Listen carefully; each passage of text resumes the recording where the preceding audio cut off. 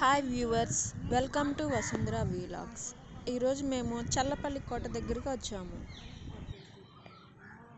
చల్లపల్లిలో ప్రధాన ఆకర్షణగా ఈ రాజావారి కోట ఉంది. దేవరకోట సంస్థానానికి చల్లపల్లి రాజధానిగా ఉండేది. చల్లపల్లి కోటను పద్దెనిమిది వందల అరవై సంవత్సర కాలంలో నిర్మించారు. ఈ జమీ పరిధిలో సుమారు వందకు పైన గ్రామాలు ఉండేవి. చల్లపల్లిని రాజధానిగా యార్లగడ్డ వంశీకులు దేవరకోట రాజ్యమును కొద్ది కాలము పాలన చేశారు. ఇప్పటికీ ఇక్కడ చల్లపల్లి రాజా కట్టించిన చల్లపల్లి కోట అనే భవంతి ఉంది. క్రీస్తు శకం పదిహేను వందల డెబ్బై ఆరులో యార్లగడ్డ గురువారాయుడు ఈ రాజ్యంను స్థాపించారని ప్రతీతి. చల్లపల్లి రాజవంశీకులు నేటికి అక్కడ జీవిస్తున్నారు. వీరు ముందుగా మనము కోట ముఖద్వారం చూసినట్లయితే రెండంతస్తుల బిల్డింగ్ లాగా ఉంది కదూ? ఇప్పుడు చాలా వరకు శిథిలమైపోయింది. మనం చూసినట్లయితే కోట ముఖద్వారం దగ్గర ఏర్పాటు చేసిన కంచుగంట ఆ రోజుల్లో చల్లపల్లి వాసులకు గడియారంగా ఉపయోగపడేది. గంట గంటకు ఆ కంచు గంటను మోగించేవాళ్ళు. దానిని బట్టి కోట చుట్టుపక్కల ప్రజలు సమయాన్ని తెలుసుకునేవారు. నేటికి ఆ సాంప్రదాయం కొనసాగుతుంది.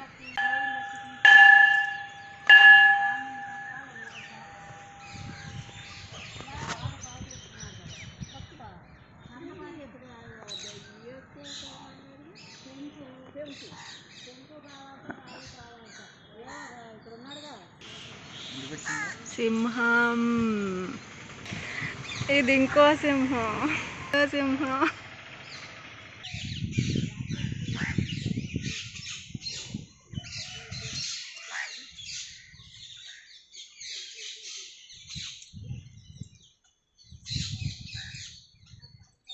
కోట చుట్టుపక్కల మనం చూసినట్లయితే అశోక వృక్షాలు భారీ చెట్లతో నిండి పచ్చని చెట్లతో పక్షుల కిలకిలా రావాలతో ఈ ప్రాంతమంతా ఆహ్లాదకరంగా ఉంది.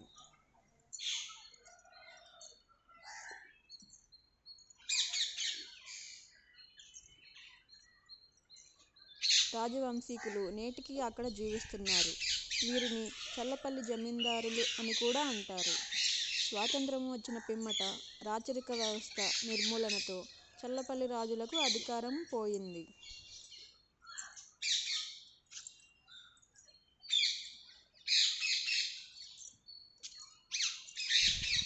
ఇప్పుడు మనము కోట దగ్గరికి వెళ్దాము. ఈ కోట దాదాపు నూట తొంభై చదరపు మైళ్ళ విస్తీర్ణంలో ఉంది. పంతొమ్మిది వందల నలభై తొమ్మిదిలో భారతదేశంలో విలీనమైంది.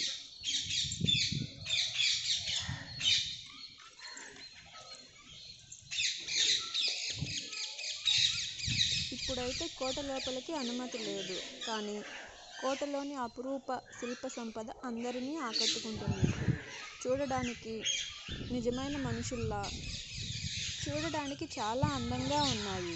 మనకు సినిమాలలో చూపించే శిల్పాలలా నిజంగా శిల్పాలేనా అనిపించేంతలా ఉన్నాయి ఈ శిల్పాల అందం. ఇక్కడ మనం చూసినట్లయితే సింహము మరియు చిరుతపులి శిల్పాలు ఉన్నాయి. చూడడానికి చాలా అందంగా ఉన్నాయి కదా ఫ్రెండ్స్? గోల్డ్ కలర్తో. ఈ సింహం మరియు చిరుత చూడడానికి చాలా అందంగా ఉన్నాయి. ఎక్కడ ఇలా ఉంటే లోపల ఇంకెంత అందంగా ఉంటాయో కదా? కానీ ప్రస్తుతం అయితే లోపలికి అనుమతి లేదు. కాబట్టి మనం కోట బయట పక్కన ఉన్న అందాలు మాత్రమే చూసి ఆనందించగలం.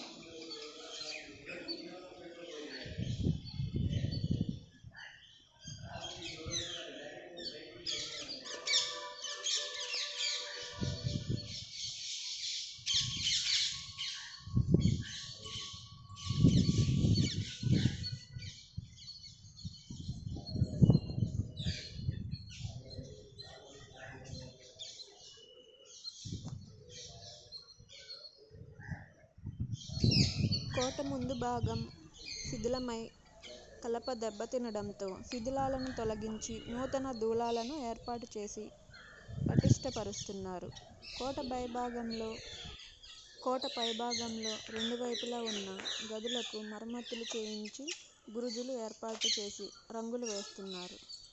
వందల ఏళ్ళ నాటి శిల్పాలు, కత్తులు, శూలాలు తదితరాలను ప్రదర్శనగా ఉంచేందుకు ఏర్పాట్లు చేశారు.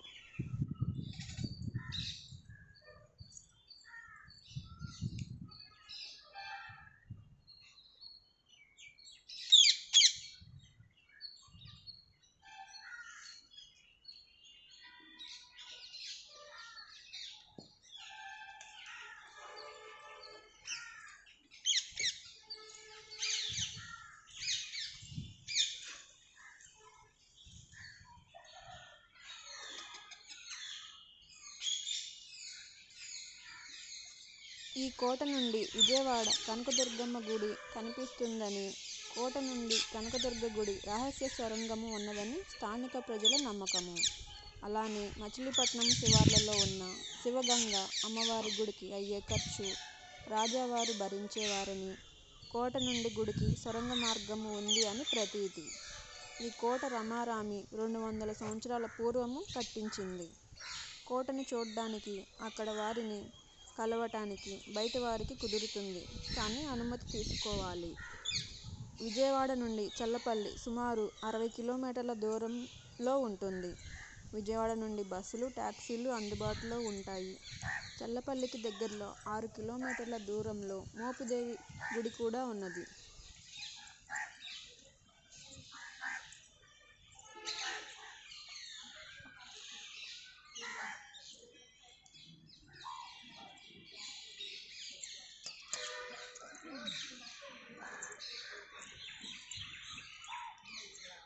సే హాయ్ ఈ వీడియో నచ్చితే కనుక లైక్ చేయండి మరియు సబ్స్క్రైబ్ చేసుకోండి. నేను చేసే ప్రతి వీడియో మీకు నోటిఫికేషన్గా రావాలి అనుకుంటే బెల్ ఐకాన్ని యాక్టివేట్ చేసుకోండి. Thank you friends